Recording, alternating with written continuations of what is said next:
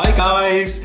Now, are you ever looking for a simple dessert that you can roll out at a dinner party that's sure to impress and leave everyone begging for the recipe? Well, if you are, I give you my lemon posset. It's possibly one of the simplest desserts you'll ever make.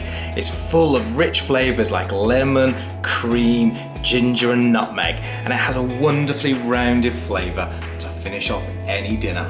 I'll be using the zest from one lemon and 100 milliliters of lemon juice. Now that should be around about one and a half or two lemons squeezed.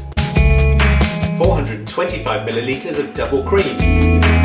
125 grams of caster sugar. And finally, a pinch of ground nutmeg and a pinch of ground ginger, which I put together here in this little bowl. Now I said making this was super easy and it really is, but you will need two pans on your hob. Start with the slightly larger one and pop in your sugar, lemon zest and lemon juice. Now we're going to slowly heat this until all the sugar dissolves and the key is slowly.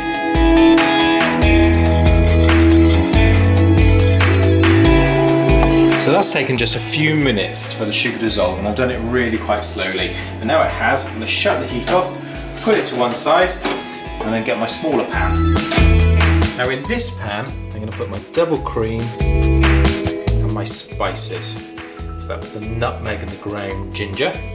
And again, we're gonna slowly heat this until it boils. And again, the key word is slowly.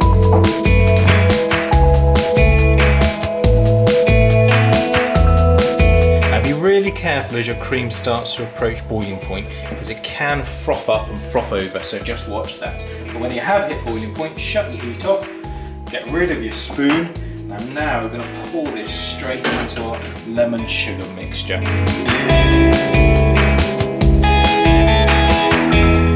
And then give it a good whisk round to make sure it's all combined.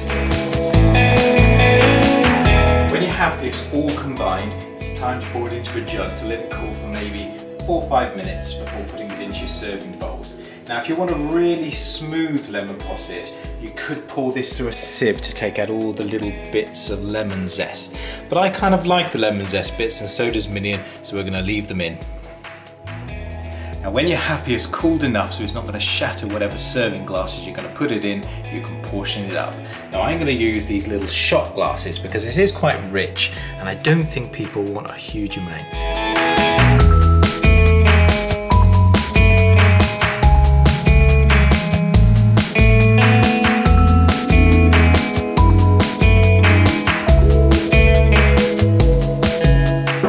When you're all portioned up, I would leave them to cool maybe for 30 minutes before putting them into the fridge to firm up completely and that'll take a few hours.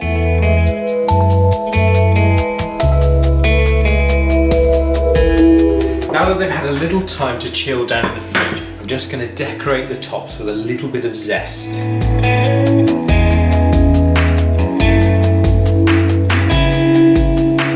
Now these really are incredibly rich small portions go a long way, but they're perfect when you serve them with something like shortbread biscuits, or maybe even my Viennese swirls, which you can watch by clicking the little video link here.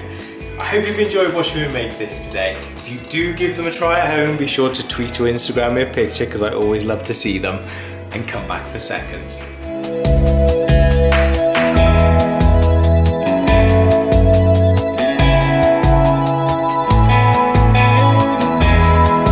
Just look how yummy these look.